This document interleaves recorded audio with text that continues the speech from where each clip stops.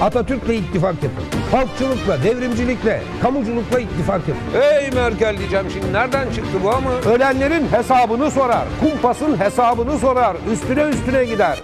Bıktırana kadar gider. Sonuç alana kadar gider. E gazetelerimiz var, çayımız var Allah'a şükür, defter kalemimiz var. Patlıcana bak şimdi, patlıcan. Terbiyesiz patlıcan. 23.95 artılır mı? Topraklarda Mustafa Kemaller yenilmez. Bunu birileri öğrenecek.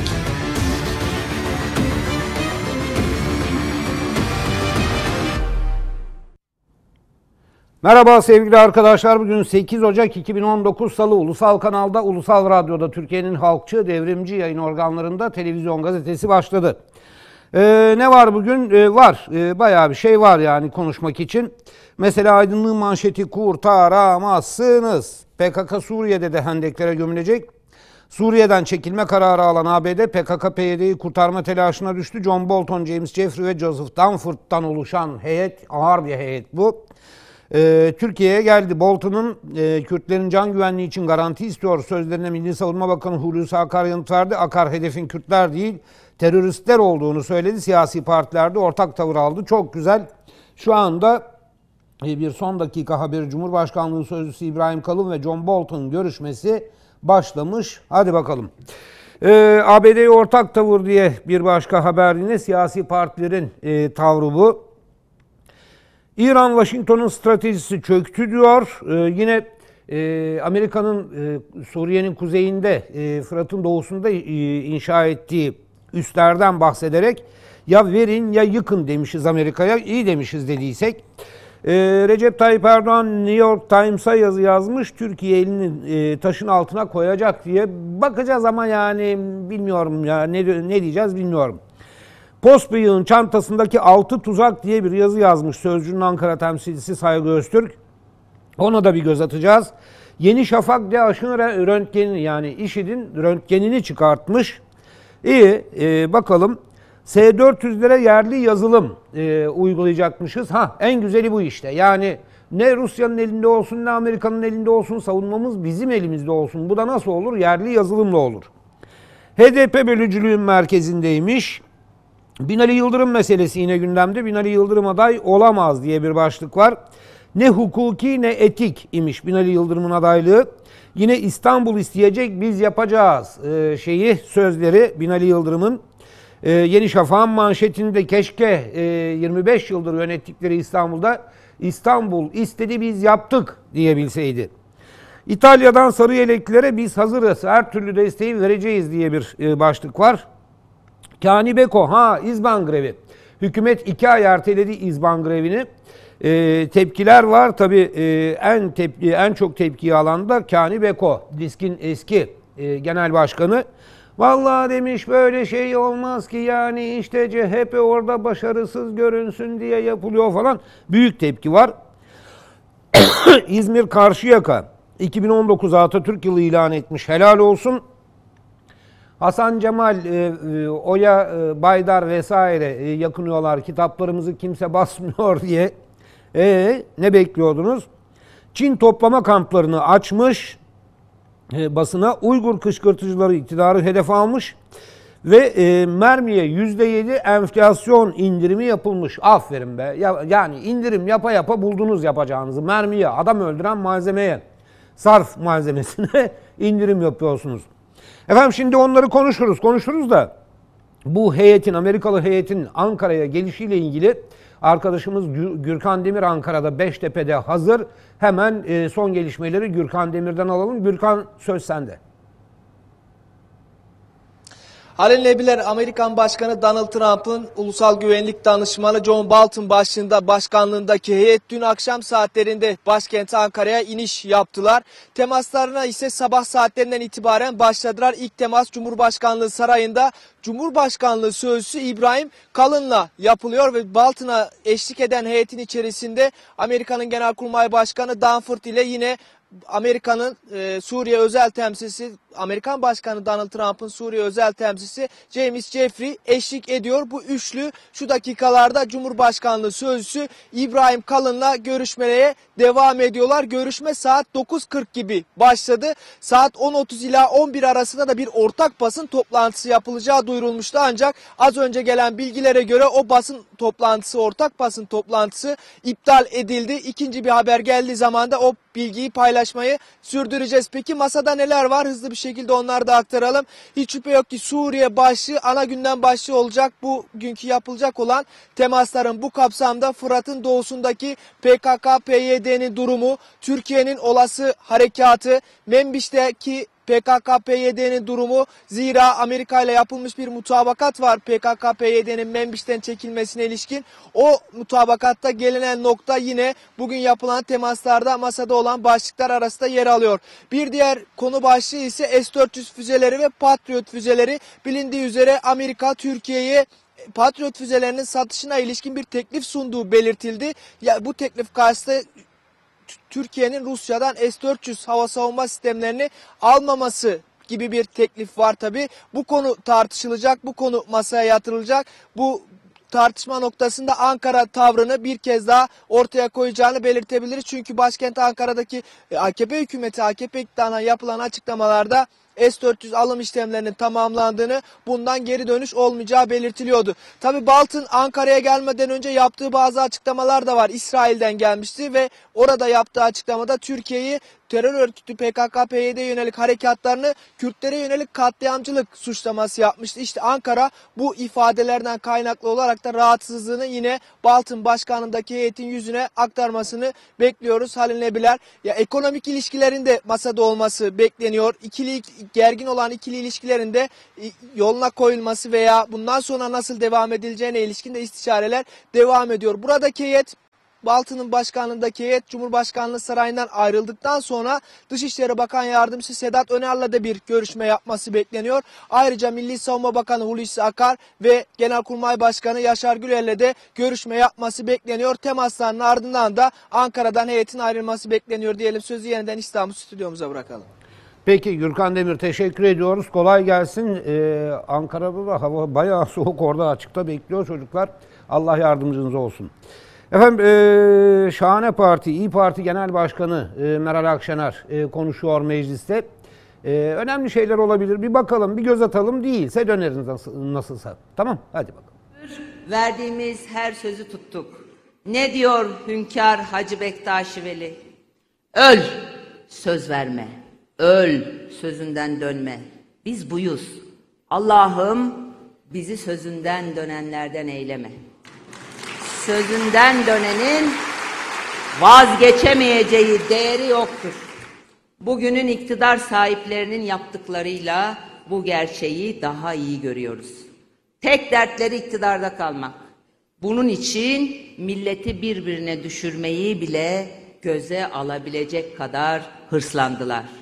Aziz milletim, 2018 ne yazık ki yoldan çıkmış bir zihniyetin hataları yüzünden zorluklarla dolu bir yıl oldu. Hatalı kararlarla, yanlış politikalarla ekonomimiz krize sürüklendi. Hayat pahalılığı, geçim darlığı milletimizin belini büktü. Milletin cebine giren 3-5 kuruş da pahalılık karşısında eriyip gitti. 16 yıl aradan sonra enflasyon yine yüzde yirmilerin üstüne çıktı. İşsizlik maalesef rekor kırıyor. Ekonomimiz artık yerinde bile sayamıyor. Krizi durdurmak için ne yazık ki ciddi bir çalışma ve program da. Bakın çok açık söylüyorum. Pansuman tedbirlerle seçime kadar milletimizi oyalamaya çalışmayın. Ekonomiyi yöneten damat efendiler. Atlattık, dengelendik, hedeflere ulaştık diyorlar ama çarşıya, pazara her çıktığımızda durum hiç de anlatıldığı gibi değil. Biz sırça bakanlık binalarında oturmuyoruz. Pazara gidiyoruz. Esnafla dertleşiyoruz. Annelerimizin göz yaşını siliyoruz. Ne yaşadığını görüyor ve biliyoruz. Gel bakalım benimle pazara. Ne oluyor bir gör. Bir pazardan kaça çıkılıyor bil. Çarşıya, pazara çıkanlar o günü atlatmanın, tencereyi kaynatmanın derdinde. Emekliye bir huzur yok. Çalışan mutsuz. Ev hanımı analarımız her gün yapıp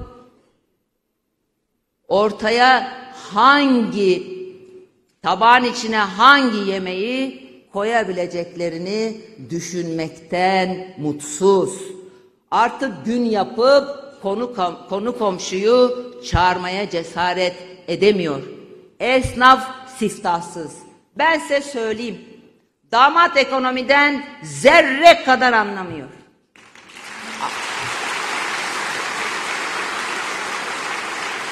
Ama bu şartlarda ayakta kalabildiği için milletimizin her ferdi vallahi de billahi de bunların hepsinden daha iyi ekonomist. Çünkü çünkü bu pahalılıkta üç kuruş parayla ev geçindirmek neymiş? Nasıl olurmuş? Çocuk nasıl okutulurmuş? O Maliye ve Hazine Bakanı damat efendi gelsin de milletimizden öğrensin. Millet ne yaşadığını biliyor.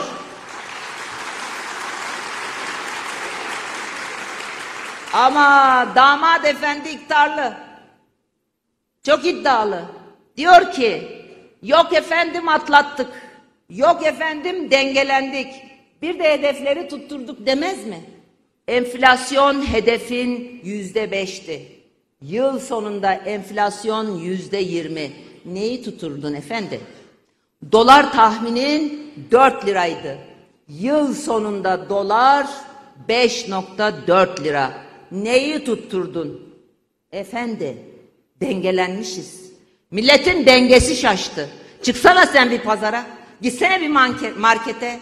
Askeri, asgari ücretle, emekli maaşıyla be geçinmeyi becer de bir görelim.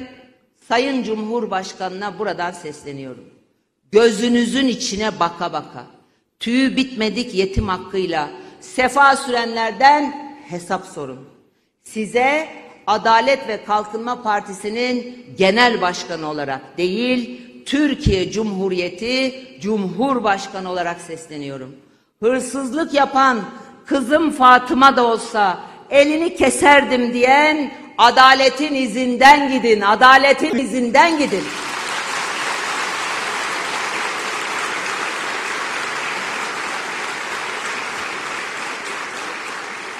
Hani ekonomimiz dünyanın ilk ekonomisi arasına girecekti? Türkiye gire gire enflasyonda ilk ona girdi. Şampiyonluk vaat edip bitime iki hafta kala kesin küme düşeriz diyorsunuz. Ayıptır ayıp. Azıcık utanmanız olsun. Biz millet olarak kadınımızla, erkeğimizle delikanlılığı severiz. Delikanlı olun, doğruyu söyleyin.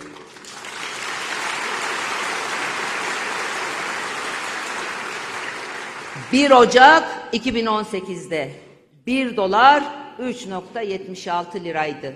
Bugün 5.4 lira. Papaz yok, ambargo yok, ambargo yok. Trump'tan tweet yok. Putin'den tehdit yok. Ama dolar hala 5.4 lira. Demek ki sebep iktidarmış. Paramız bir yılda yüzde 40 değer kaybetmiş. Milletimiz yüzde 40 fakirleşmiş. İşin aslı şu. Hasan amca 10 ekmek alabilirken 6 ekmek alır hale gelmiş. O 4 ekmeğin hesabını kim verecek? Bunun övünülecek bir tarafı var mı? Millet evini barkını satmaya başlamış. Hedefi tutturduk dediğiniz bu mu? Hedefiniz milletimizi evsiz barksız bırakmak mıydı? Enflasyon hedefin tutmadı efendi. Büyümeyi geçtim. Aksine küçüldük. Damat hala hayal aleminde. Ama haksızlık etmeyeyim. Bir avuç para babasının işleri büyüdükçe büyüdü. Bakın küçük bir azınlık ülke servetinin yüzde yetmiş yedisine sahip olmuş. Böyle bir adaletsiz gelir dağılımı olur mu? Ne diyor Necip Fazıl? Allah'ın on pulunu bekleye dursun, on kul, bir kişiye tam dokuz, dokuz kişiye bir pul. Bu taksimi kurt yapmaz, kuzulara şah olsa, yaşasın kefenimin kefili kara borsa. Peki nasıl geldik bu noktaya? Bakın yanlış dış politikayla Suriyeli sığınmacılar için 40 milyar dolarımızı harcadık. Yani tek bir yanlış kararla 230 milyar eski parayla 230 katrilyon paramızı kaybettik. Bu para Türkiye'nin 2019 bütçesinin dörtte biridir. Cebinize gelen her 100 liranın 25 lirasıdır. Ama bakın daha ilginç bir nokta var. Suriye'nin 2018 yılı bütçesi ne kadar biliyor musunuz? 8 milyar dolar. Yani Esad 18 milyon Suriyeliye 8 milyar dolar harcıyor. Bizim iktidarsa 4 milyon sığınmacıya 40 milyar dolar harcıyor. E kardeşim, adam daha hesaplı, yönetiyor işi. 4 milyon için 2 milyar dolar verelim de o baksın.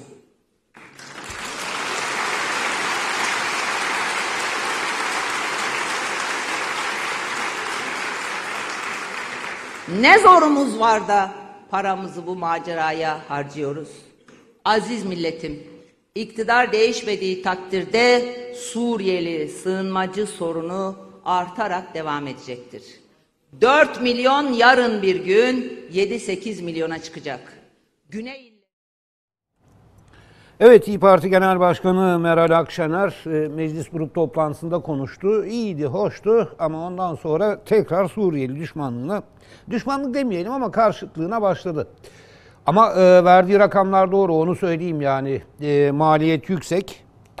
E, yalnız dediğim gibi e, bu işi e, Suriyeli karşıtlığına dönüştürmeye başladığımızda e, işin rengi değişiyor. E, oraya değişti, dönüştürmeyelim. Türkiye'nin Suriye politikalarını elbette ki sonuna kadar eleştireceğiz. Peki şimdi asıl konumuza e, dönelim. E, aydınlığın manşeti kurtaramazsınız. Yani kurtaramazsınız değil.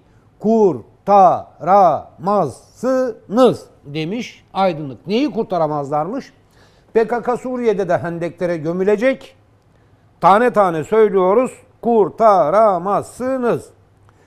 Suriye'den çekilme kararı alan ABD PKK-PYD'yi kurtarma telaşına düştü. John Bolton, James Jeffrey ve Joseph Dunford'dan oluşan heyet Türkiye'ye geldi. Bolton'un Kürtleri, e, Kürtlerin can güvenliği için garanti istiyoruz sözlerine Milli Savunma Bakanı Hulusi Akar yanıt verdi. Akar hedefin Kürtler değil teröristler olduğunu söyledi. Siyasi partilerde ortak tavır aldı. Ee, bakalım siyasi partilerin ortak bakalım? İçeriden bakarız ona. Bu arada Haçlı Şabi'den bir e, açıklama var. Suriye'den çekilen ABD askerlerinin Irak'taki asker sayısının artması Irak ordusuna bağlı Haçlı Şabi güçlerinin tepkisini çekti. Haçlı Şabi Irak parlamentosunu ABD askerlerine karşı sert tutum almaya çağırdı. Haçlı Şabi aksi halde ABD'yi vuracaklarını söyledi. E, Kerkük'e daha çok Amerikan askerlerini yerleştirmeye çalışıyor Amerikalılar. Şimdi e, kurtaramazsınız dedik. Amerika'ya ortak tavır neymiş? Onu iç sayfadan görelim. 8. sayfadan görelim hemen. Bir bakalım e, Aydınlığın 8. sayfasına. Hangi ortak tavırmış, kimler ortak tavır almış? E, efendim TGB Bolton'u protesto mu ediyor? Hadi ya yürüyün çocuklar be. Hadi bakayım. Hemen oraya dönelim. Hemen hemen hemen hemen. Hiç vakit kaybetmeyelim. Evet Halil Nebiler Türkiye Gençlik Birliği üyeleri şu dakikalarda Cumhurbaşkanlığı sarayında olan Amerikalı heyeti protesto ediyorlar. Cumhurbaşkanlığı sarayına doğru yürüyüşe geçmiş durumdalar. Aslında daha kalabalıktı bir kısmı polis tarafından çeşitli noktalarda engellenmiş durumda. O engelleri atlatan Türkiye Gençlik Birliği üyeleri Cumhurbaşkanlığı sarayına doğru yürüyüşe geçtiler. İşte en önde pankart var. Baltın Jeffrey Dun- Dunford, PKK'yı kurtaramaz sloganı var. Hemen Cumhurbaşkanlığı sarayı da solda kameraman arkadaşım göstersin Sabri Kara. İşte görüşme o sarayın içerisinde oluyor kameraman arkadaşım gösteriyor. İşte Türkiye Gençlik Birliği üyeleri de bu noktadan itibaren yürüyüşe geçmiş durumdalar. Yürüyüşlerini şu dakikalarda sürdürüyorlar. Bir yandan da slogan atıyorlar. Evet Cumhurbaşkanlığı sarayında ABD Başkanı Danford, ABD Başkanı Trump'ın Ulusal Güvenlik Danışmanı John Bolton var. İşte Bolton'u ABD'li heyeti protesto ediyorlar. Şu dakika polis de gelmiş durumda. Grubu engellemek istiyorlar. Amerikalı heyetin protesto ediyor. Türkiye Gençlik Birliği üyeleri grubun en önünde Baltın Jeffrey Danford PKK'yı kurtaramaz pankartı taşınıyor. Cumhurbaşkanlığı sarayına doğru adım adım ilerliyorlar Halil Nebiler. Şu dakikalarda ABD'li heyet Cumhurbaşkanlığı sözcüsü İbrahim Kalın'la bir görüşme halindeler. Masada neler var? Masada Türkiye'nin terörle mücadelesine karşı Amerika'nın bazı önerileri var. Onları görüşüyorlar. PKK-PYD'ye Türkiye'nin harekat yapmasını engellemek istiyor Amerikalı heyet. Türkiye Gençlik Birliği üyeleri de Türkiye'ye gelen bu ABD'li heyeti protesto ediyorlar. Evet daha aslında Türkiye Gençlik Birliği üyesi grup daha kalabalıktı. Az önce ifade ettik. Ankara'nın çeşitli noktalarında polis tarafından engellenmiş durumdalar. O engelleri atlatan Türkiye Gençlik Birliği üyeleri Cumhurbaşkanlığı sarayına doğru yürümeye devam ediyorlar. Aslında ticari taksiyle gelmek istiyor. Türkiye Gençlik Birliği üyeleri ancak o ticari taksiler de durduruluyor ve Türkiye Gençlik Birliği üyelerinin yürüyüşüne bazı noktada izin verilmiyor. O Gürkan, Gürkan. engelleri aşan üyeler ise yürüyüşlerine devam ediyorlar. Gürkan şu anda neredeler tam olarak? Gürkan şu, Şu anda, anda tam Cumhurbaşkanlığı sarayına sarayına doğru giden bir yol var Halil Nebiler. Ee, Türkeş Caddesi, Türkeş Bulvarı olarak biliniyor. Burada bu cadde üzerinde yürüyorlar. Peki Ee, ben bir şey sormak yaklaşık istiyorum. 200 metre, 200 ila 300 metre var Cumhurbaşkanlığı sarayına. E bayağı gelmişler yani saraya. Peki Evet, şunu şu sormak dakika- istiyorum. Başka bir Evet. grup göremiyorum ben orada. E, mesela e, CHP gençlik kollarını göremiyorum. MHP'lileri göremiyorum. İyi Partilileri göremiyorum. TKP'lileri göremiyorum. Başka niye kimse yok orada? Bu başka partileri ilgilendirmiyor mu?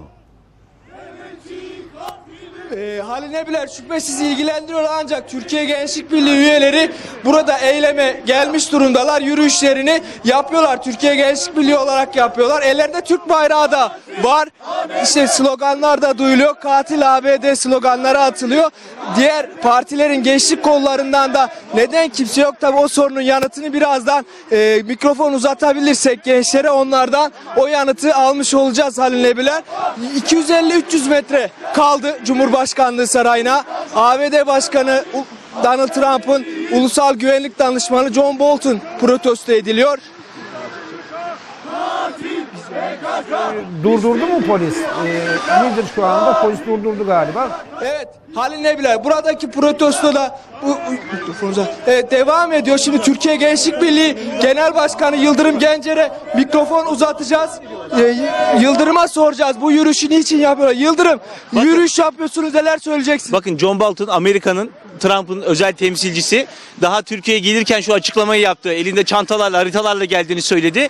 O çantaları o haritaları Türkiye'nin Ankara'nın merkezine gömmeye geldik biz buraya.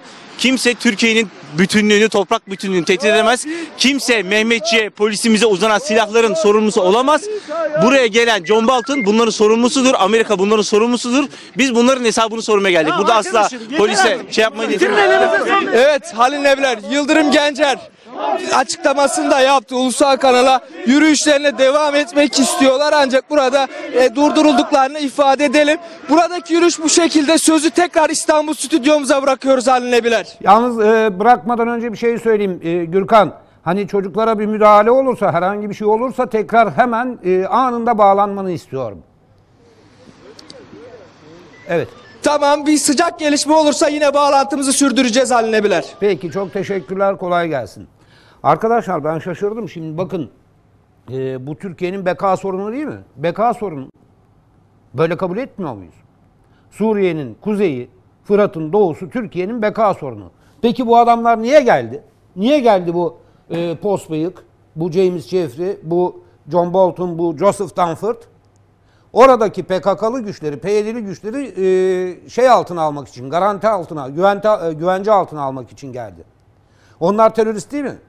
Türkiye'nin bekasını tehdit eden on- onlar değil mi? Onlar. E peki niye sadece TGB var ortada?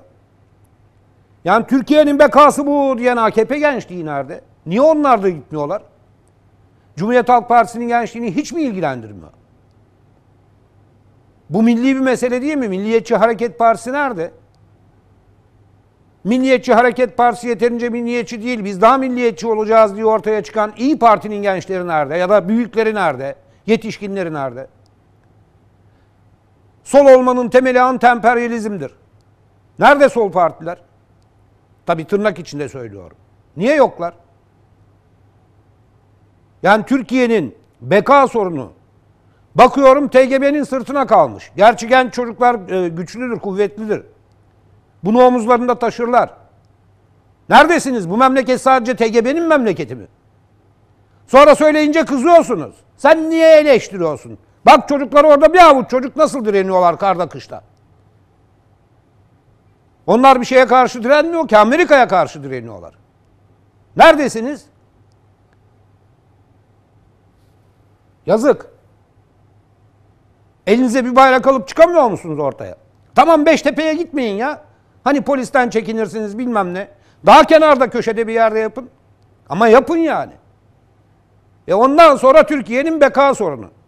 Görüyoruz Türkiye'nin beka sorunu kimler sır, sırtlıyor. İşte bu çocuklar sırtlıyor. Neden ümidimiz e, gençliktir diyoruz? Tek ümidimiz gençliktir. Bundan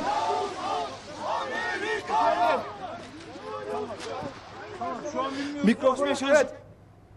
Birliği üyeleri protestolarla devam ediyorlar. İşte bakın polis, polis eylemciye tekme attı değerli izleyenler görüyor? Bize de şu an müdahale ediyorlar.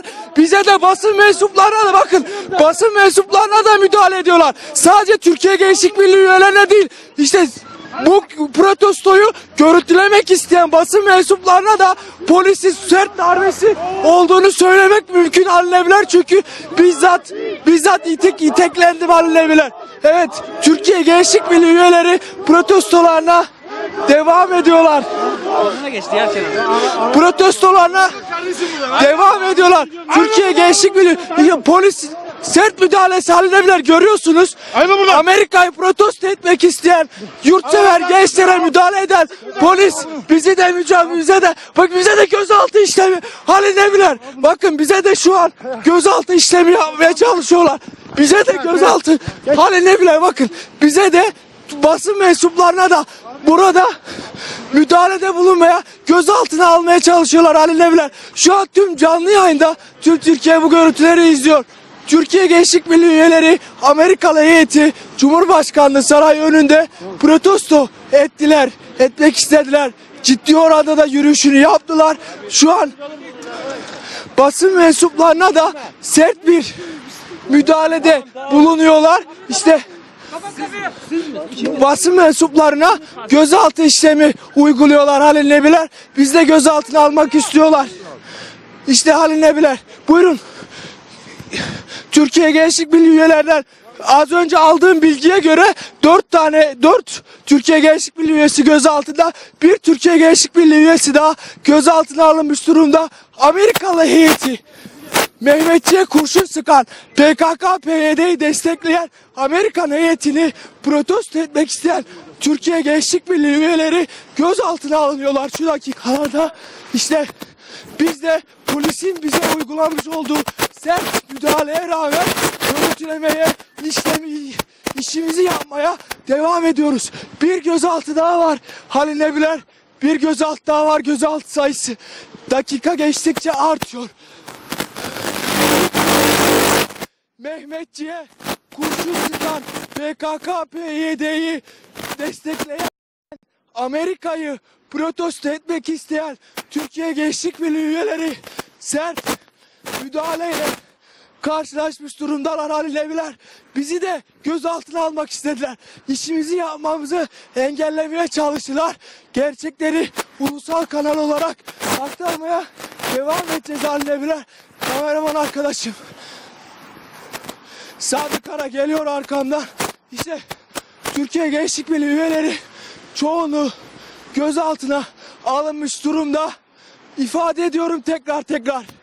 Mehmetçiğe, Türk polisine kurşun sıkan PKK, PYD'yi destekleyen Amerika'yı protesto etmek isteyen yurtsever Türkiye Gençlik Birliği üyeleri gözaltına alındı.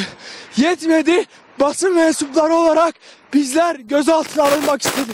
Halı ne biler. İşte grup e,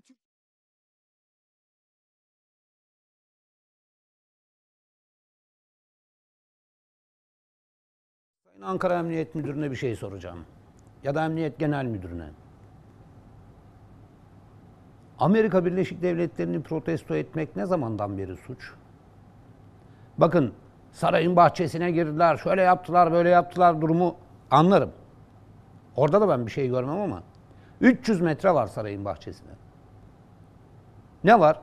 Ayrıca burada durun dediğin- dediğinizde durmadılar mı? E, bu Gürkan Demir'i niye gözaltına almaya çalışıyorsunuz? Türkiye'nin beka sorunu diyorsunuz. Bu beka sorununun Amerika'dan kaynaklandığını Sayın Cumhurbaşkanı meydanlardan binlerce defa haykırıyor. Kaç bin tır silah gönderdiğini açıklıyor PKK'ya Amerika'nın. Ve Amerika'nın PKK'yı korumak için Türkiye'ye geldiğini, bir heyet gönderdiğini söylüyor, söylüyor. Cumhurbaşkanı söylüyor bunu. E sonra bu gençler bu Amerikalı heyeti protesto etmeye kalkınca bu karda kışta o çocukları gözaltına alıyorsunuz. Ha olabilir bir polisiye tedbirdir. Bana e, polis vazife ve selahiyetleri kanunundaki maddeyi göstereceksiniz. Bakın kaynağını anayasadan ve yasalardan almayan hiçbir yetkiyi kullanamazsınız. Bana anayasada, bir başka yasada, terörle mücadele yasasında mesela atıyorum. Ya da polis ve e, polis vazife ve selahiyetleri kanununda şöyle bir madde vardır bu yüzden aldık deyin. Hadi hepsi neyse. Gürkan Demir'i neden gözaltına almaya kalkıyorsunuz? Görevini yapıyor gazeteci. Gerçekleri gösteriyor. Bakın yanlış işler bunlar.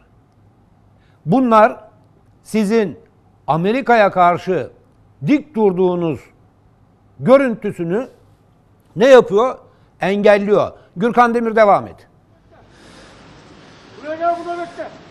Evet Halil Nebiler Türkiye Gençlik Birliği üyeleri Mehmetçiğe Türk polisine kurşun sıkan PKK PYD'yi destekleyen Amerikalılar bugün Ankara'da onları protesto etmek istediler. İşte Cumhurbaşkanlığı sarayına doğru yürüyüşe geçmişti Türkiye Gençlik Birliği üyeleri. Onlar polis tarafından engellendiler. Cumhurbaşkanlığı sarayına ciddi ölçüde yaklaştılar. Belki de Baltın Türkiye Gençlik Birliği üyelerinin slogan sesini duydu, hissetti Cumhurbaşkanlığı saray içerisinde.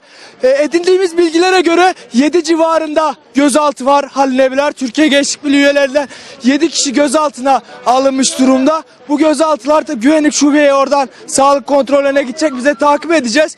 Türkiye Gençlik Birliği üyeleri protestolarını yaptılar. Şimdi eylem değerlendirmesi yapmak üzere bürolarına dönüyorlar. Halil Nebiler şu dakikalarda sırasıyla gidiyorlar. Bizi de Halil Nebiler gözaltına almak istediler. Bize de sert müdahalede bulunmak istediler. İşimizi yapmak istedi. İsteyen, isteyen gazetecileri de gözaltına almak istediler. İşte Türkiye Gençlik Birliği üyeleri Amerikalı heyeti protesto etmek istedi. Onlara sert müdahalede olundu. Bizler de gözaltına alınmak istedik Halil. Türkiye Gençlik Birliği üyeleri 7 kişi dedik gözaltına alındı. Bu gözaltına alınanların serbest bırakılması için nasıl bir faaliyette bulunacaklar, ne yapacaklar? Bunları merakla biz de bekliyor olacağız diyelim. Sözü tekrar İstanbul stüdyomuza bırakalım Halil. Evet Gürkan Demir senden satır satır bu işi takip etmeni istiyorum. Çünkü benim e, 37 yıllık meslek yaşamım boyunca bunun 15 yılı polis adliye muhabiri olarak geçmiştir. Bilirim ben bu işleri. Benim gördüğüm kadarıyla gözaltı için hiçbir gerekçe yok. Ne diyeceksiniz? Neyle suçlayacaksınız bu çocukları? Şiddet yok, şiddete çağrı yok, bir taşkınlık yok, bir şey yok. Hatta genel başkanları TGB'nin diyor ki bizim polisle herhangi bir tartışmaya girmemiz bile söz konusu değil. Az önce izledik. Az önce izledik.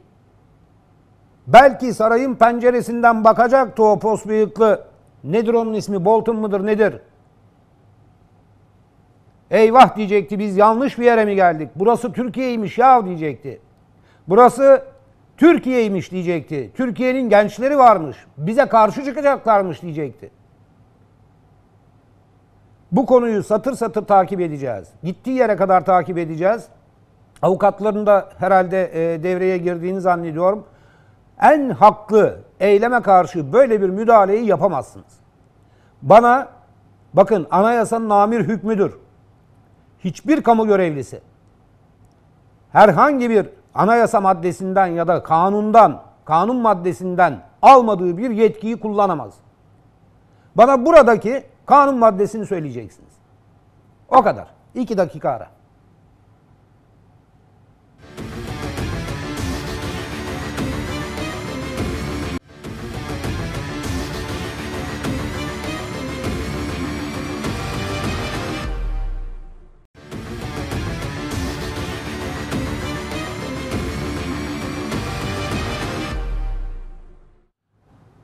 Evet televizyon gazetesi devam ediyor. Ankara'da ilginç bir olay yaşadık Ee, ve bazı TGB'liler gözaltına alındı. Bu e, Amerikan heyetinin Türkiye'ye gelişini protesto eden e, Türkiye Gençlik e, Birliği grubundan e, bazıları gözaltına alındı. Hatta arkadaşımız e, orada sadece görevini yapmaya çalışan e, Ulusal Kanal muhabiri Gürkan Zengin de e, gözaltına alınmaya çalışıldı. Ben bir kere daha soruyorum. Hiçbir makam, hiçbir kamu görevlisi yetkisini anayasadan ya da yasalardan almadığı bir e, gücü kullanamaz. Evet Gürkan Demir'e döndük. Gürkan nedir son durum? Netleşti mi durum? Kaç kişi gözaltına alındı? Nedir vaziyet? Halil Nebiler 7 Türkiye Gençlik Birliği üyesi gözaltına alınmış durumda. Baltın protestosunda neler yaşandı hızlı bir şekilde aktaralım. Tabii eylem tamamlandı, bitti. Türkiye Gençlik Birliği üyeleri buradaki eylem itibariyle ofislerine, TGB Genel Merkezi'ne dönmüş durumdalar. Peki alanda neler oldu? TGB üyeleri Danford, Bolton, Jeffrey PKK'yı kurtaramaz pankartıyla bir yürüyüş başlattılar. Alparslan Türkeş Bulvarı'ndan Cumhurbaşkanlığı Sarayı'na doğru giden bir güzergahtı yürüyüş yapmış oldukları nokta. Cumhurbaşkanlığı Sarayı'na ise 250-300 e, metre kadar yaklaştılar ve seslerini belki de içeriden Baltın duymuş olabilir. Çünkü Baltın Cumhurbaşkanlığı Sarayı'nda Cumhurbaşkanlığı Sözcüsü İbrahim Kalın'la eylem sırasında bir görüşme yapıyordu. O görüşme sabah saat 9.40'da başlamıştı. O görüşme sürerken de Türkiye Gençlik Birliği üyeleri sürpriz bir şekilde protestolarını yaptılar. Aslında görüntüleri biz de ekranlara taşıdık. Türkiye Gençlik Birliği üyeleri daha kalabalıktı ancak kentin birçok noktasından bu buluşma noktasına gelmek isteyen Türkiye Gençlik Birliği üyeleri engellendiler. Taksilere bindiler. Taksileri durduruldu. Ceza yazmakla tehdit edildi taksiler. Bu noktaya Türkiye Gençlik Birliği üyelerinin bir kısmı ulaşamadı. Ulaşan Türkiye Gençlik Birliği üyeleri ise TGB Genel Başkanı Yıldırım Gencer başkanlığında o protestolarını yapmış oldular. Protesto sırasında çeşitli slogan dağıttılar. Kahrolsun Amerikan emperyalizmi gibi Mustafa Kemal'in askerleriyiz gibi sloganlar da attılar. Tabii gözaltılar olduğunu ifade ettik. Çünkü Türkiye Gençlik Birliği üyeleri yürüyüşlerine devam ettikleri sırada polis engeliyle karşılaştılar. O engelleme sonucunda burada 3 Türkiye Gençlik Birliği üyesi gözaltına alındı. Daha önce başka bir e, noktada araçtan indirilerek gözaltına alınan Türkiye Gençlik Birliği üyeleriyle birlikte toplam 7 kişi gözaltına alınmış durum alınmış oldu. Tabii biz de basın mensupları olarak e, çeşitli e, itişme kakışmayla karşılaştık. Bizi de Halil Nebiler gözaltına almak istediler. Bu görüntüleri ulusal kanal ekranlarına getirmeye çalıştık. Burada Amerika'nın e, PKK'ya, FETÖ'ye yardım yapan, yataklık yapan, silah veren, mühimmat veren, Amerika'yı protesto etmek isteyen Türkiye Gençlik Birliği üyelerinin eylemlerini e, görüntülemek isterken zor anlar yaşadık. Biz de gözaltına alınmak istedik. Türkiye Gençlik Birliği üyeleriyle birlikte basın mensubu olarak bu konuyu da paylaşmış, aktarmış olalım. Tabi Baltın Cumhurbaşkanlığı Sarayı'nda dedik. O görüşme 9.40'da İbrahim Kalın'la başladı. Baltın'a ABD Genelkurmay Başkanı Joseph Dunford eşlik ediyor. Dunford Crawford'ın yanı sıra yine Amerikan Başkanı Donald Trump'ın e, Suriye özel temsilcisi Jeffrey eşlik ediyor. Üçlü bir heyet. Heyet buradaki temasların ardından Dışişleri Bakan Yardımcısı Sedat Önal, Büyükelçi Sedat Önal'la bir araya gelecek. Aynı zamanda Milli Savunma Bakanı Hulusi Akar'la görüşecekler. Akar'ın yanı sıra Genelkurmay Başkanı Orgeneral Yaşar Güler'le de bir görüşme yapacak Amerikalı heyet. ABD'li heyet buraya İsrail'den geldi. İsrail'den gelmeden hemen önce Ankara'ya doğru hareket etmeden hemen önce Balt'ın yaptığı açıklamada Türkiye'yi Kürtleri katletmekle suçladı. Aynı zamanda Türkiye'nin e, Fırat'ın doğusuna harekat yapmaması noktasında garanti istediklerini açıklamıştı. PKK-PYD'yi koruma noktasında böyle beyanlar olmuştu. İşte bu beyanlar masada bunlar görüşülüyor. Ankara bu beyanlara ilişkin daha önce sözlü ve yazılı olarak tepki göstermişti. Bir kez de yüz yüze bu tepkiyi dile getiriyorlar. Aynı zamanda Membiç mutabakatında gelinen nokta ele alınıyor. Suriye sahasındaki diğer gelişmeler masaya yatırılıyor. İki ülke ilişkileri, gergin olan ilişkiler yine benzer şekilde masada. Ekonomik ilişkiler masada. Bütün bunlar askeri, siyasi, ekonomik ve diplomatik olarak Amerikalı heyette Türkiye heyeti arasında yapılan görüşmelerde ele alınıyor Halil Nebiler. Son olarak Türkiye Gençlik Birliği protestosunu yaptı. 7 kişi gözaltına alındı. O gözaltı işlemlerini biz de takip ediyor olacağız. Ne zaman serbest kalacaklar, kaldılar mı, kalmadılar mı? Sıcak bir gelişme oldukça aktarmaya devam edeceğiz. Engin, e, çok teşekkür ediyorum. E, ayrıca kutluyorum. Gözaltına alınma girişimine rağmen elinden mikrofonu bırakmadın. Arabanın neredeyse içine e, itilecekken bile görevini devam ettirdin. İşte gazetecilik budur arkadaşlar. Tebrik ediyorum. Sağ olasın. Başarılar diliyorum. Şimdi geçelim işin yasa tarafına. Anayasa. Türkiye Cumhuriyeti Anayasası. Anayasa geçerli mi değil mi bu Türkiye'de? Geçerliyse ki bildiğim kadarıyla geçerli. Anayasa madde 34. 3 Ekim 2001 değişik 4000 e, e, tire 4 e, 4709 eski yani madde 13. maddeymiş. 34. madde. Herkes önceden izin almadan silahsız ve saldırısız toplantı ve gösteri yürüyüşü düzenleme hakkına sahiptir. Bakın herkes önceden izin almadan e, kaymakamlıkta izin almadan anayasa anayasa en önemli bağlı olduğumuz şey önceden izin almadan silahsız ve saldırısız silah var mıydı orada? Yok. Saldırı var mıydı? Yok. Toplantı ve gösteri yürüyüşü düzenleme hakkına sahiptir. Toplantı ve gösteri yürüyüşü hakkı ancak milli güvenlik. E tamam çocuklar da milli güvenliğimiz için yaptılar. Milli güvenlik, kamu düzeni, suç işlenmesinin önlenmesi, genel sağlığın ve genel ahlakın veya başkalarının hak ve özgürlüklerinin korunması amacıyla ve kanunla sınırlandırılabilir. Milli güvenliği tehdit eden bir şey değil, milli güvenliği destekleyen bir şey yaptılar. Kamu düzenini bozan değil, kamu düzeninin sağlanması için bir şey yaptılar. Çünkü PKK terör örgütü engellenirse, bitirilirse Türkiye'de bir daha sokaklarda bombalar patlamayacak demektir. Kamu düzenini sağlamak için yaptılar. Suç işlenmesinin önlenmesi. Orada suç yok ki. Aksine çocuklar PKK'nın suç işlemesini önlemek için bu gösteriyi yaptılar. Genel sağlığın ve genel ahlakın. Baba çocuklar çıplak yapmadı ki ya. Ne genel ahlakı? Yani neresinden tutarsan tut uymuyor. Veya başkalarının hak ve özgürlüklerinin korunması amacıyla ve kanunla sınırlandırılabilir. Bakın burada başkalarının hak ve özgürlüklerinin korunmasından tek kasıt olabilir. Bolton, Jeffrey neydi o Genelkurmay Başkanı'nın adı? Bunların hangi haklarını, hangi özgürlüklerini koruyacaksınız? Zaten sarayın içindeler. Ve kanunla sınırlandırılabilir diyor. Ama kanun anayasanın üstüne çıkamaz.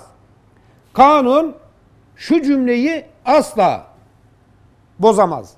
Herkes önceden izin almadan silahsız ve saldırısız toplantı ve gösteri yürüyüşü düzenleme hakkına sahiptir. Bu hakkı ortadan ka- kaldıran kanun anayasaya aykırı olur. Arkadaşlar bir tek şey düşünüyorum. Tayyip Erdoğan bu gözaltılarla şöyle yapabilir ancak. Bakın Sayın Bolton sizi protesto ediyorlardı. Ben engel oldum ama ben Amerika'ya gittiğimde bana neler neler yaptılar. Siz engel olmadınız. Bunun için de o çocuklar o karda kışta gözaltına aldırılmaz. Ya da alınmaz. Alınmaz olmaz böyle şey. Ama takipçisi olacağız. Yani bakın anayasa hiçbir suç yok.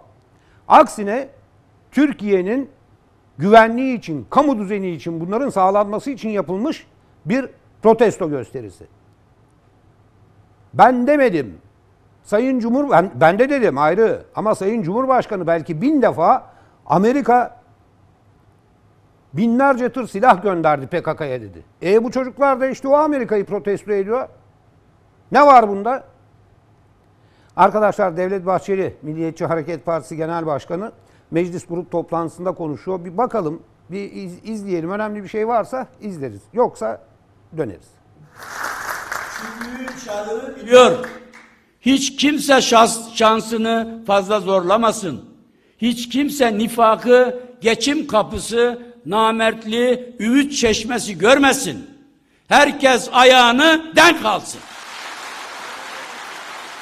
Biz ne verilecek toprak parçası, ne vazgeçilecek insan varlığı, ne de çizilecek sınır hattı asla yoktur.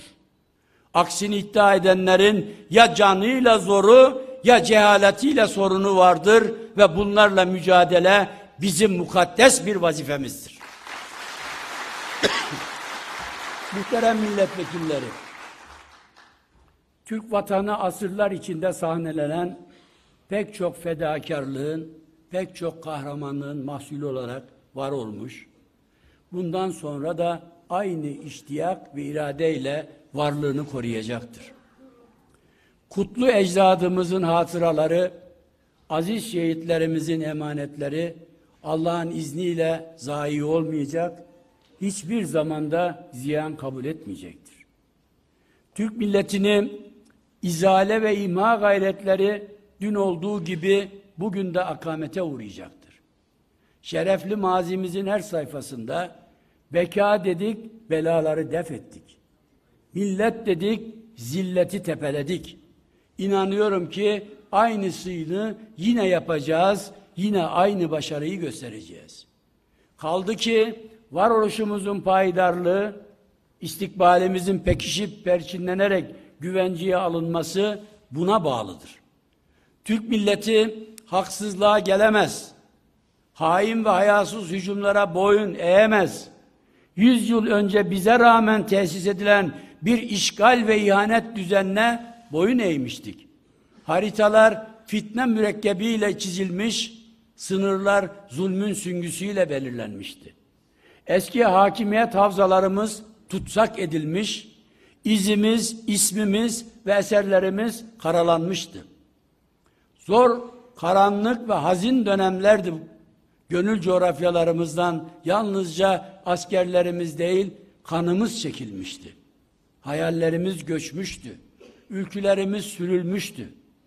Evimizden çıkarılmıştık, anılarımızdan koparılmıştık.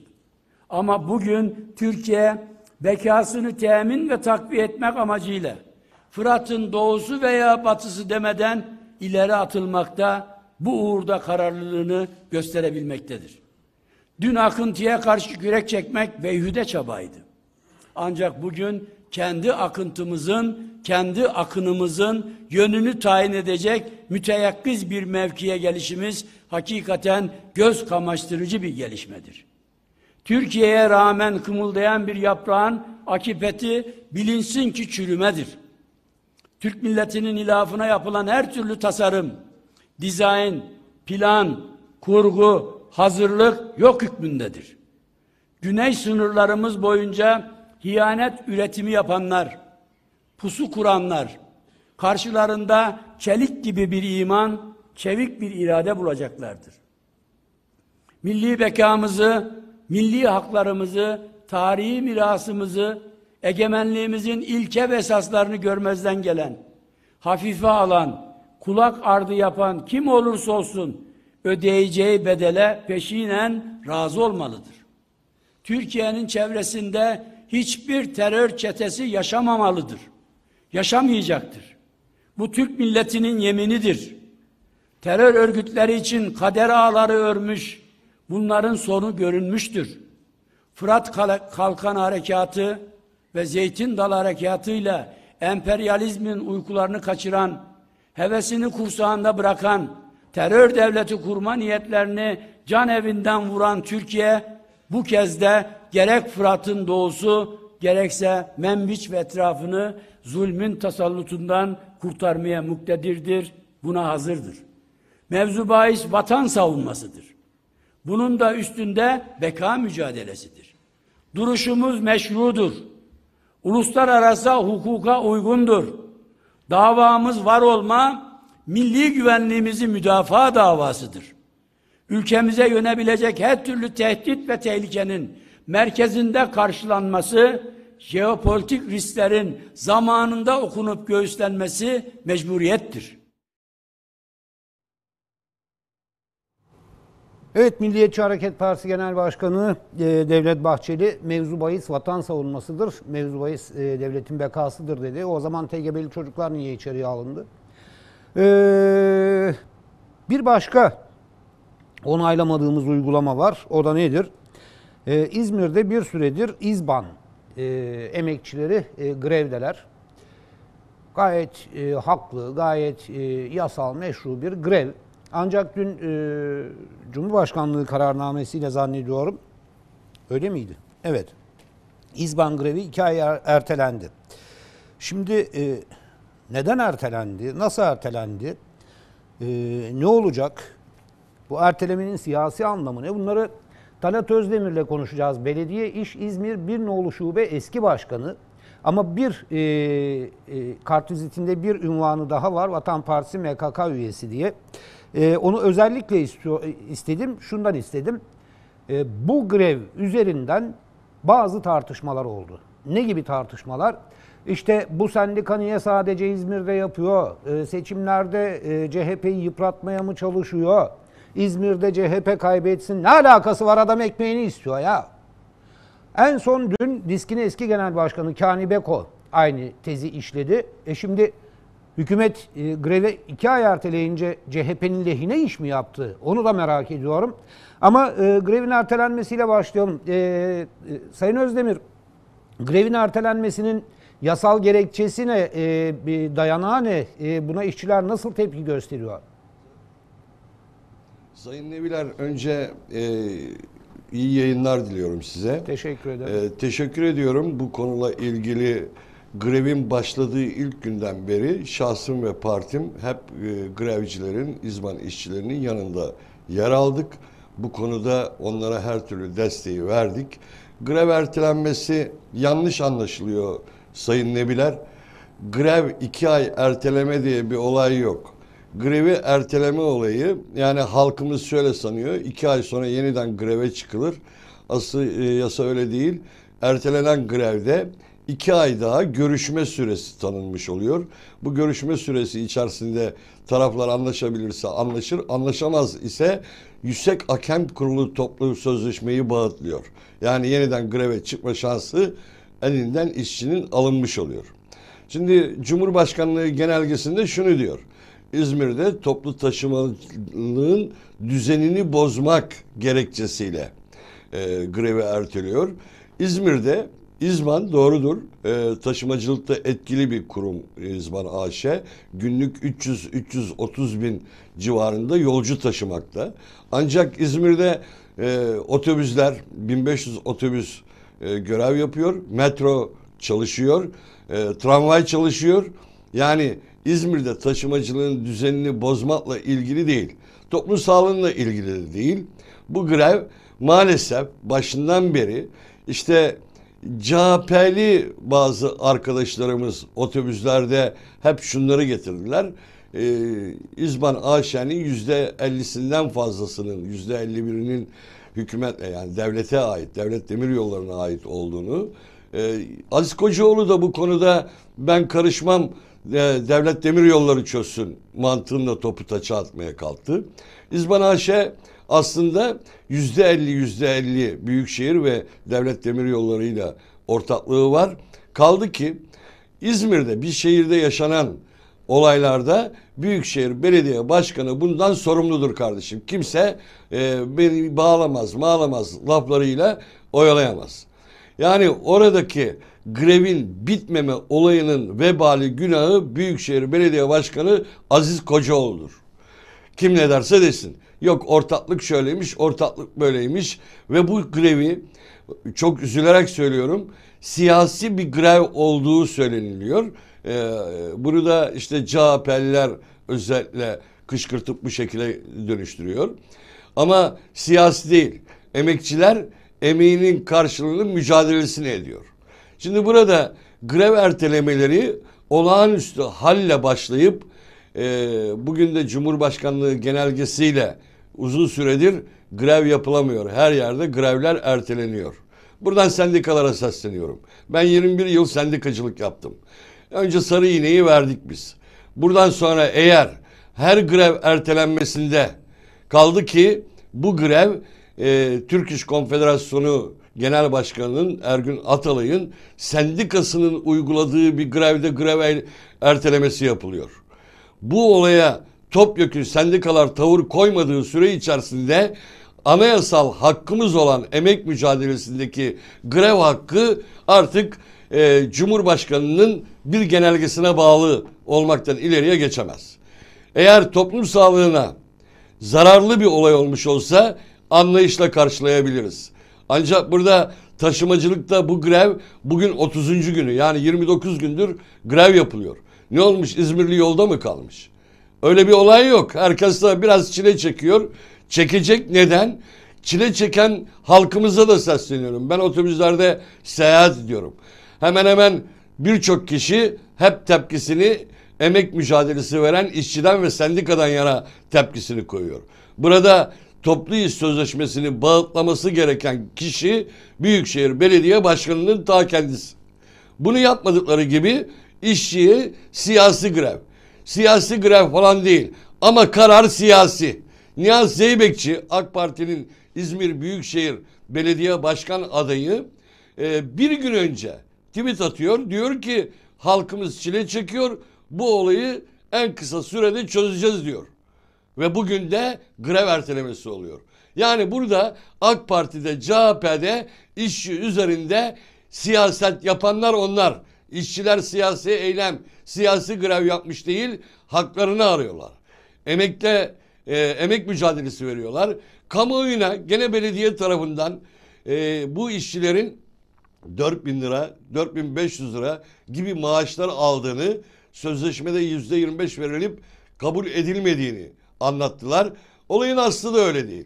İşçilerin orada aldığı 1700 ile 2200 lira arasında bir ücret. Bugün 1700 lira, 1750 lira ücret alan işçi şu anda asgari ücretin altında kalmış. Kanun gereği asgari ücret ama yüzde 25'i koyduğunuzda zaten asgari ücreti 50 lira 100 lira geçen bir konuma geliyor.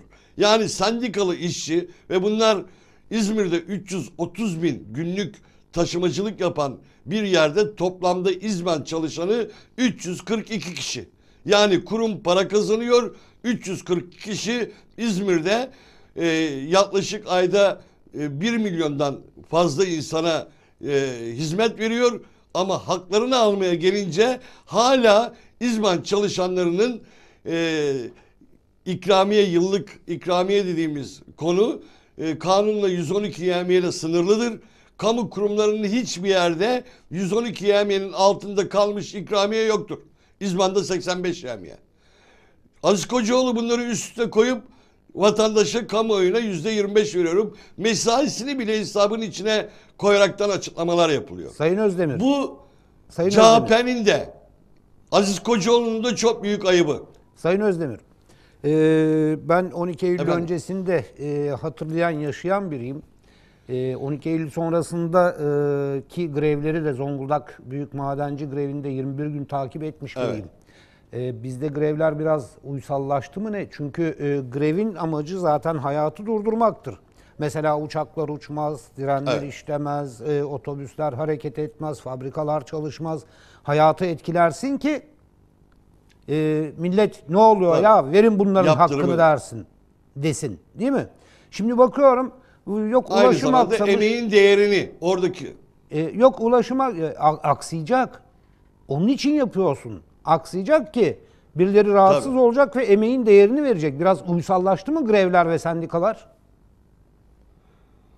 E, şimdi ben de 92 yılında e, Yüksel Çakmur'un belediye başkanlığı döneminde aynı zamanda Demirel hükümeti SHP'li ortak hükümet döneminde İzmir'den Ankara'ya kadar 28 gün Kanibekö'nün atılmış işçi olarak aramızda bulunan benim temsilcimdi. E, böyle bir eylem yaptım. E, bu yürüyüşe de çok engel olunmaya kalkıldı. O zamanki siyasileri anlatmak için söylüyorum. Demirel tabii ki işçiler hakkını alıyor, yürüyebilir diye bizim yönümüzü açtılar. Biz Ankara'ya kadar yürüdük. Hükümetle de oturup protokol yapıp o insanları işine geriye döndürdük. Ee, gene rahmetli Erdal İnönü'nün İstanbul'da çöp grevinde İstanbul'a gelme olayında e, Nurettin Sözen makam şoförünü gönderiyor. Arabaya bindiğinde soruyor siz greve katılmıyor musunuz, işçi misiniz diye. Aman efendim siz genel başkanı mısınız, size hizmet diyor. O da arabayı durdurup arabadan inip taksiye binerek gidiyor. Grev kırıcılığı yapan işçiyi protesto ediyor. Bunlar da siyasetçi. Bugün gelinen noktadaki siyasetçiler de zaten grevin başladığı ilk günden itibaren grev kırıcılığı yaptırdılar. 7 tane makiniste 15 günde tespit çıkartıp grev kırıcılığının önüne geçebildik. 15 günde. Buna hem hükümet hem belediye seyirci kaldı. Grev kırıcılığından gurur duydular. Grev kırıcılığı utanç verici, ahlaki olmayan bir olaydır. Bununla gurur, gurur duyan siyasilere buradan sesleniyorum. Vicdanınız sızlıyor mu? Şimdi o işçi YÜSEVKAM'den toplu sözleşmesi gelecek. Ama o işçiden iyi hizmet bekleyeceksiniz. Halka iyi hizmet, güzel hizmet vermesini bekleyeceksiniz. Bu şekilde mi olacak iyi hizmet? Kırgınlıkla, küskünlükle, iş barışının sağlanmadan yapıldığı bir e, e, şöyle grevin ertelenmesi çok mu matah bir şey? Bununla birlikte şimdi ben CHP'li arkadaşlara ve belediye yönetimine söylüyorum. Aziz Kocaoğlu'na teşekkür mü edeceksiniz? Aziz Kocaoğlu'na diyorum. E, Cumhurbaşkanı'na grevi ertelediği için teşekkür mü edecekler? Böyle bir siyasi anlayış olmaz. İzmirli'ye de sesleniyorum. Emekçi olan İzmir halkı emekçiye sahip çıkmalı. Bu her iki partinin de AKP'nin de AKP'nin belediye başkanının adayının açıkladığı olaya bakın. Bir gün önce açıklıyor, ertesi günü greve. Yani devreye girip Devlet Demiryolları Genel Müdürlüğü'nü olayın içine sokup toplu sözleşmeyi masada bağıtlasa takdir edeceğim. Ama grev ertelemesinde sorunu çözdüm diyorsa yazıklar olsun.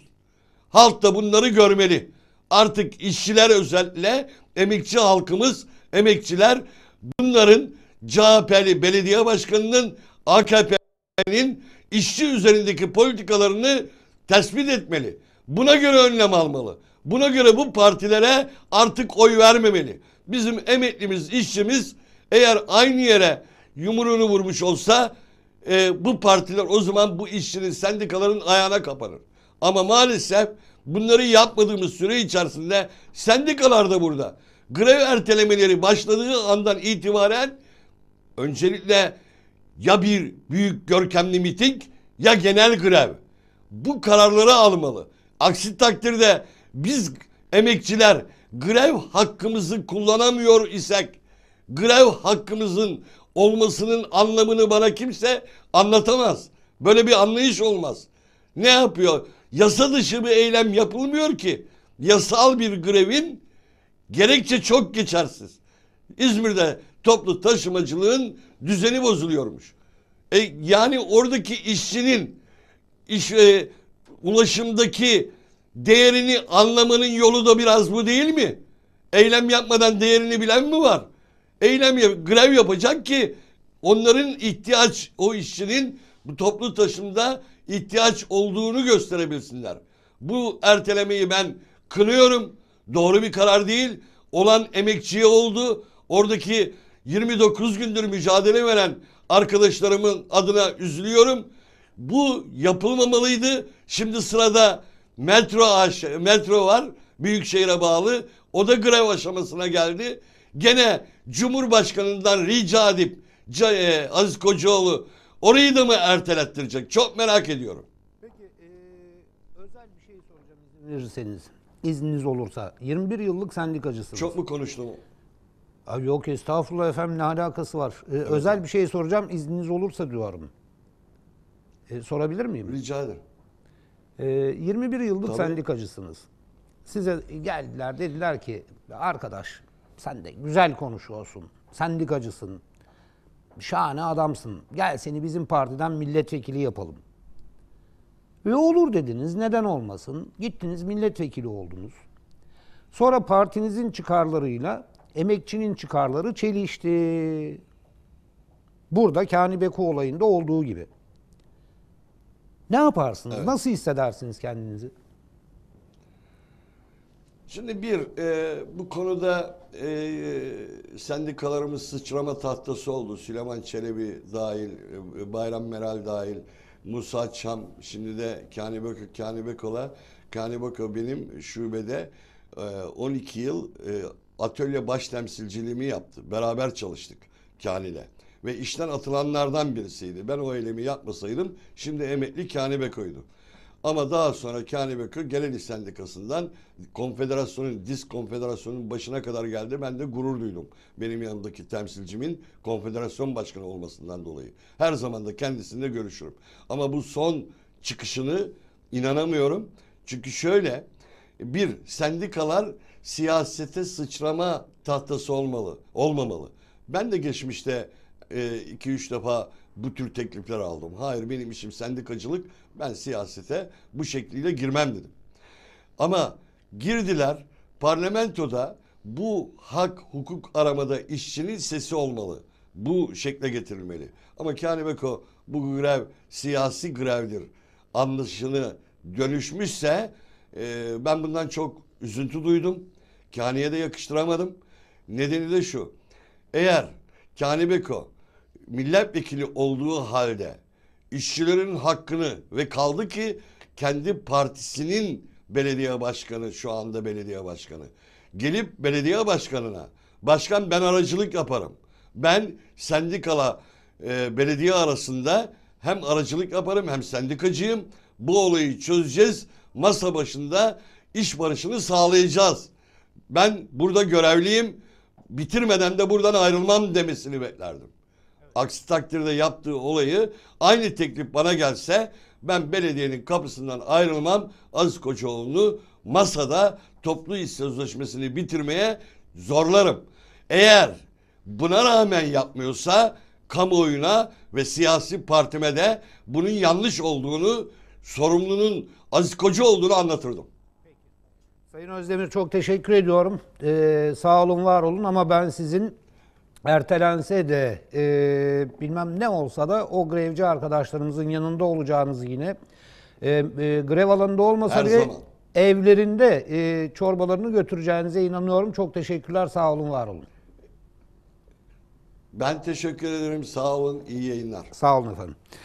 Evet, e, kendi gündemimizi bugün e, iki başka gündeme neye? Bir, e, TGB'lilerin e, protestosuna, iki, İzban'daki grevin bir Cumhurbaşkanlığı kararnamesiyle iki ay ertelenmesine ki Sayın Özdemir açıkladı o erteleme sanki iki ay sonra yeniden başlayacakmış grev gibi değil. Uzun bir sürecin e, içine girecek. E, bu iki gündeme ayırdık. E, kalan dakikalarımızı e, kendi gündemimizde e, yine olağanüstü bir şey olmazsa tabii dolduracağız ama 2-3 dakika bir aramız var. Devam edeceğiz.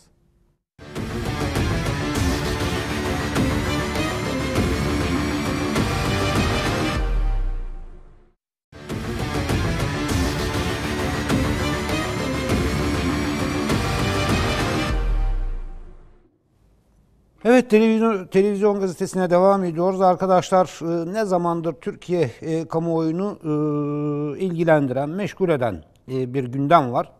Bu Çin'deki Uygurlar meselesi. Yeni Şafak birinci sayfasından vermiş bugün. Diyor ki Çin toplama kamplarını açtı. Ne olmuş? E, kampın her yerine yerleştirilmiş güvenlik kameraları dikkat çekiyor. Vay alçak Çinliler. Kampın her tarafına güvenlik kamerası yerleştirmişler ya. Ulan olacak şey mi ya? Cami girişlerinde dahi onlarca kamera bulunuyor. Bak şimdi ya. Ayıp ayıp. Çinliler! Hey! Siz kimsiniz be cami girişlerine kamera yerleştiriyorsunuz? Ya arkadaşlar bizim cami girişlerinin farkında mısınız? Ha, cep telefonları çalmasın bile jammerlar bile var. Güvenlik kamerasının olmadığı yer nerede var? Ayrıca mesela oraya gittiniz. Sizi davet etti Çinliler. Güvenlik kamerası yok. Bu ne biçim cami? Güvenlik kamerası bile yok diyecektiniz. Ha? Devam. Uluslararası baskıya dayanamayan Çin, eğitim kampı olarak nitelendirdiği Doğu Türkistan'daki toplama kamplarına ilk kez uluslararası basının girmesine izin vermiş. Yani çok baskı yaptılar da ondan mı izin verdi? Göstermelik organizasyon. Göstermelikse niye gidiyorsun? Kampların radikalleşmeyle mücadele için açıldığı savunulurken kaç Uygur'un bu kampta tutulduğu açıklanmadı. Çin varlığını daha önce defalarca reddettiği toplama kamplarına ilk defa göstermelik olarak kısıtlı giriş izni verdi. Uluslararası basına kampı gezdiren Doğu Türkistan Bölge Başkanı Şöhret Zaki toplama kampı ifadesini iftira olarak nitelendirirken sert tepkilere neden olan kampları radikalleşmeyle mücadelede başarılı eğitim kampı olarak savunmaya çalıştı. Zaki zamanla eğitim mekanizmasındaki insanlar gitgide azalacak eee, dedi. Şimdi bu neymiş? 5 yıllık imha planıymış. Uygurların imha planıymış. Öyle mi acaba? Bilmem. Barış Terkoğlu. Dünkü gündemimiz biraz kalabalıktı. E, yer veremedim. Dün Cumhuriyet'teki köşesinde bir yazı yazdı. Dedi ki şapkadan çıkan turuncu elma. Şöyle diyor. Şapkadan çıkan tavşan sizi de şaşırtır mı? Oysa sihir yoktur. Marifet çabukluk yapan eldedir. Peki biz neden ele bakmıyoruz? Bir anda patlayan Uygur sevdasından söz ediyorum. Kimi ülkücüleri, kimi İslamcıları hatta kimi solcuları aynı turuncu elmanın peşinden koşturabiliyor. Öyle ya HDP vekili Ömer Faruk Gergerlioğlu, Gergerlioğlu şöyle duyurdu. Biraz çıkalım yukarıya arkadaşlar. Öyle ya HDP vekili Ömer Faruk Gergerlioğlu şöyle duyurdu. Uygur Türklerine karşı e, yapılan Çin devleti zulmü için TBMM'de İyi Parti'nin verdiği araştırma önergesi HDP, CHP, İyi Parti'nin kabul, AKP'nin red ve MHP'nin çekimsel oylarıyla görüşmeye açılamamıştır. Urumçi ile Ankara arası 4500 kilometre. Sadece uzaklığı değil, Türk halkının Uygur davasına mesafesini de gösteriyor. Peki Türkiye'nin seçimi konuştuğu günlerde nereden çıktı Çin zulmü nutukları, Doğu Tü- Türkistan bağımsız olacak meydan okumaları? Yanlış anlamayın. Çin'de ileri demokrasi olduğunu falan söylemiyorum. Kuşkusuz çekilen acılar da vardır. Lakin bizim cumhuriyetimiz dış Türkler sorununu siyasetle çözdü. Atatürk'ün devrimleri pantürkizme de, panislamizme de mesafe koydu. Lozan'da çizdiği sınırlar içerisinde kana ya da inanca değil yurttaşlığa dayalı bir ulus tarif etti. Başka ülkelerin topraklarıyla hesabının olmadığını gösterdi. Ancak Uygur davası zaman zaman tesadüf sayılamayacak şekilde hortlatıldı. Mutlaka sizin önünüze de gelmiştir. İşkence altında inleyen bir kadın. Fotoğrafın üzerinde Çin karşıtı slogan, içiniz parçalanıyor, küfrediyorsunuz. Ama biraz araştırınca görüyorsunuz. O da ne? Görüntüler lideri ABD'de yaşayan Falun Gong cemaatinin oynadığı tiyatrodan alınmış. Bir başkasını kızların pantolon giymesine, üniversiteye gitmesine karşı çıkan radikal dinci İhsan Şen Ocak sayesinde gördüm. Namaz kıldığı için Mao'nun çocuklarının çıplak bir adama işkence ettiğini paylaşıyordu. Görüntüler milyonlarca kişiye ulaştı. O da ne? Çin diye paylaşılan işkence Endonezya'da meselenin namazla, ilgi, namazla da ilgisi yok. Dayak yiyen tacizci çete üyesi. Yedi adamın kürsüde kafalarına bira diktiği bir kare. Bu kez iddia şu. Çin'de Müslümanlara Ramazan'da zorla bira içiriliyor. Peşine düşünce fotoğrafın 2008 yılından beri paylaşıldığını, bir, bir, bir festivalde çekildiğini, adamların aslında içerek yarıştığını öğreniyorsunuz. Görüntüyü kamuoyuna pazarlayan Doğu Türkistanlılar Derneği Genel Başkanı hepimizi kandırıyor. Uzatmayayım, doğru ayakkabısını bağlarken yalan dünyayı dolaşıyor. Hatta sokağa çıkıp eylem yapıyor.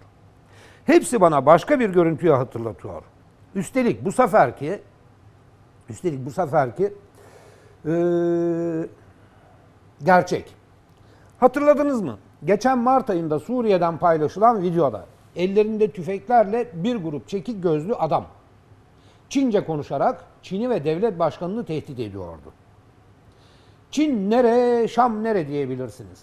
Acı gerçek Suriye'deki cihatçı savaş Avustralya'dan İngiltere'ye kadar birçok ülkeyi içine alan uluslararası bir ağ yarattı. Bu ağın en kritik parçası ise Orta Asya ve Uygur bölgesi. Az değil. 8 yıla yayılan Suriye Savaşı'nda bölgeden gelen cihatçıların Suriye'de kurduğu köyleri özel birlikleri bulunuyor. Uluslararası cihadın Uygur ayağının merkezinde ise Doğu Türkistan İslami Hareketi var. 1989 yılında kurulan örgüt dünyada El-Kaide, Suriye'de ise El-Nusra ilişkisiyle biliniyor. Çin'de bir dizi terör eylemine imza atan yapılanma Suriye'deki savaşa da cihatçı taşıdı. Çin'den kalkıp Türkiye'ye gelen ardından Suriye'ye geçip savaşa katılan bu gruplar vahşi eylemlere, intihar saldırılarına imza atmasıyla biliniyor. Örnek olsun Reyna'da katliam yapan teröristin uzun süre Özbek mi yoksa Uygur mu olduğunu tartışmamızın nedeni aslında Türkiye'de Uygur derneklerinde ve bu ağın ortasında sıkça boy göstermesiydi. Sonuç olarak Uygur kökenli cihatçı yapının bir hedefi var. Bir gün geri dönüp Çin'le yeniden savaşmak. Peki neden şimdi? Trump'ın Erdoğan'la konuşurken fevri bir hareketle Suriye'den çıkmaya karar verdiğini sanmayın. Bu daha büyük bir stratejinin beklenen bir ayağı. Mutlu bir şekilde kendilerini savunmamızı istiyorlar böyle olmaz diye NATO'daki ABD yükünü sorgulayan Trump'ı Çin'le verdiği ticaret savaşı daha çok ilgilendiriyor. Haliyle dünya sisteminde süren çatışmanın merkezi yer değiştiriyor. Asya Pasifik bölgesine kayıyor, Suriye'den dinci terör süpürülürken Uygur meselesi Çin'e karşı eski bir kart olarak yine çekmeceden çıkarılıyor.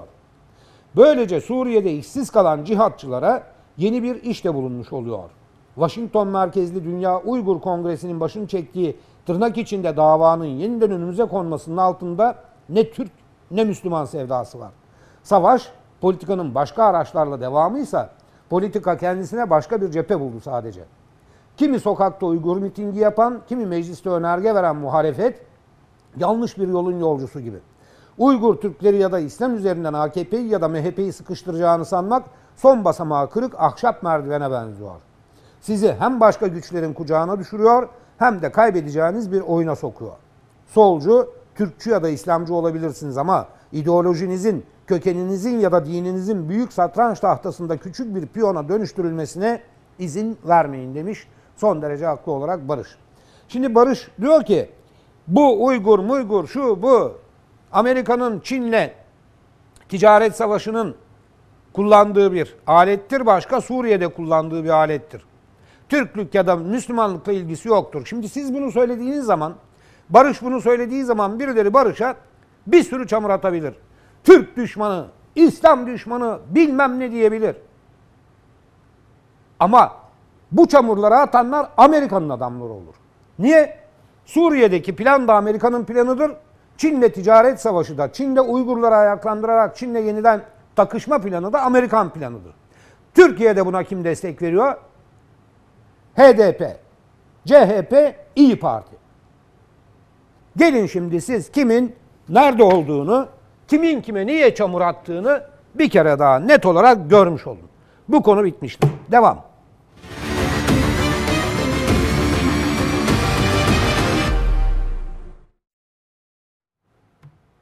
İki konu var. Onları tamamlayacağım. Çıkacağız. Birisi 2019'u Atatürk yılıyla ilan etmişler. Kimler?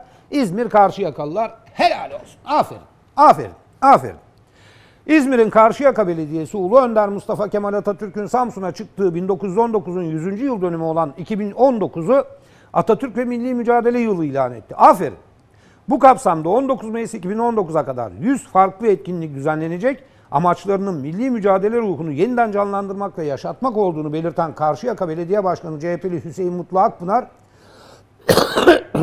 Büyük önderimizin benim doğum günümdür dediği 19 Mayıs paha biçilmez bir değere, değere ve anlama sahiptir. Onu doğru anlamak, taşıdığı ruhu yitirmemek ve bu büyük yolculuğu sürdürmek zorundayız demiş. Ne var orada bir fotoğraf var o nedir şey Serkan üstünde haberin üstünde. Nedir bu? Aa Zübeyde Hanım'ın mezarı değil mi burası? Anıt mezarı. Hı? E şimdi 2019 Atatürk yılı ilan ettiklerine göre sık sık bu anıt mezarın önüne gelecekler. Hı? Yüzden fazla etkinlik. E o zaman Mutlu Bey ben çok iyi bir iş yapmışım geçen yıl ya. Bir de önceki yıl. Hatırlayacaksınız hemen oraya 5 metre öteye bu anıtın 5 metre ötesine bir tuvalet yaptırmıştınız. Sivil toplum örgütleri istiyor diye. Biz burada bağırdık aylarca bağırdık. Bir parkın içindedir bu anıt mezar. Parka giriyorsun birisine soruyorsun. Ya Caner e, burada tuvalet nerede kardeşim diyorsun. Zübeyde Hanım'ın yanında diyor. Yakışıyor muydu? Biz burada tepki gösterip o helanın yıkılmasını istedikçe e bize ya ne oldu bak yıkıldı şimdi ne güzel olmuş. Gideceksiniz rahat rahat. Oh tuvalet muhalet sidik kokusu bilmem ne olmadan Zübeyde Hanım'ızın huzurunda Atatürk'ün Samsun'a çıkışının 100. yılını rahat rahat kokusuz mokusuz kutlayacaksınız. Heh iyi yapmışım ama Sayın Belediye Başkanı takdir edin beni Allah için. Bir şey daha var. O da şu. E, bunu da Oda TV'de gördüm. Kitaplarını kimse basmıyormuş. Bir üzüldüm. Bir üzüldüm. Bittim ya. Eridim, eridim. Kitaplarını kimse basmıyor. Niye basmıyorsunuz da adamların kitaplarını? Kimin kitaplarını basmıyorlarmış? Yazarlar Hasan Cemal, Oya Baydar. Ona program bitti nihayet ısıttı bu ya. Vallahi billahi tekrar hasta olacağım diye korktum. Yazarlar Hasan Cemal, Oya Baydar, Nedim Gürsel, Aslı Erdoğan, Baskın Orhan ve Nurcan Baysal'ın yeni kitaplarının yayın evleri tarafından basılmadığı belirtilmiş. Çık bakayım yukarıya. Yazarlar Hasan Cemal Oya Baydar, Nedim Gürsel, Aslı Erdoğan, Baskın Orhan ve Nurcan, Baysal'ın yeni kitaplarının yayın evleri tarafından basılmadığı belirtildi. Bu bilgiyi Hasan Cemal T24'te yayınlanan adı istibdat olan kitap düşünüyorum basıların başlıklı yazısında anlattı vesaire. Ya niye basmıyorsunuz adamların kitaplarını? He bak mağdur oluyorlar. Ya bunların alayı Yetmez ama evet. Yetmez ama evet, yetmez ama evet, yetmez ama evet. AKP'yi getirdiniz iktidara. İktidarda kalmasını sağlamlaştırdınız. Yetmez ama evet, yetmez ama evet. Referandumlarda arkasında durdunuz, bilmem nerede arkasında durdunuz. Bir kolunuzda o, bir kolunuzda FETÖ. Şimdi kitaplarımızı basmıyorlar. Beter olun. Yağlı ballı börekleri iyiydi. İktidardan nemalanmak, FETÖ'den nemalanmak iyiydi. Hasan Cemal, Tayyip Erdoğan sana Hasan abi diye hitap ederken iyiydi. Oya Baydar, Taraf gazetesinde yazı yazarken ya ama şunu da diye itiraz ettiğinde Ahmet Altan lan girmişsin bilmem nereye artık bana bilmem ne demeyin laflarını yediğinde niye itiraz etmedin? He? Bu memleketin başına 30 sene çöreklendiniz be. Beynimizi ifade ettiniz. Postmodernizmdi. Bilmem neydi. Sivil toplumculuktu. Zarttı, zurttu. FETÖ gibi cemaatleri, örgütleri, sivil toplum kuruluşu diye başımıza sardınız. Şimdi kitaplarımızı basmıyorlar. Basacaklar mıydı? Basacaklar mıydı bir de? E benim size bir önerim var. FETÖ'yle o kadar kol kolaydınız. Hacı söyleyin. FETÖ size bir şey kursun, fon kursun, bir matbaa yapsın, bir yayın evi kursun. Oradan bastın kitaplarınızı. Hem ne güzel olur. Direkt Amerikan piyasası. Hiç Türkiye piyasasına girmezsiniz be.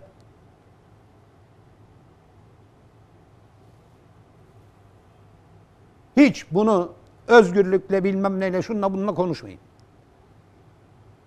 Kendi kazdığınız çukura kendiniz düştünüz. Ne haliniz varsa görün.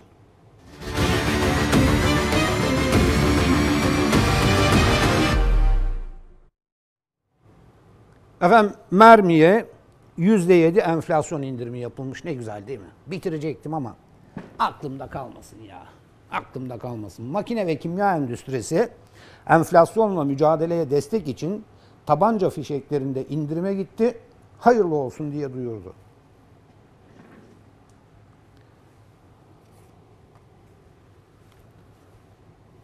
Ne bir şey dememi mi bekliyorsunuz? Mermide enflasyonla mücadele için indirim yapmış. Bir de vatana millete hayırlı olsun. Alın bak indirimli mermi var. Alın daha fazla adam vurun. Düğünlerde daha fazla havaya sıkın. Böyle mi düşüreceksiniz enflasyonu?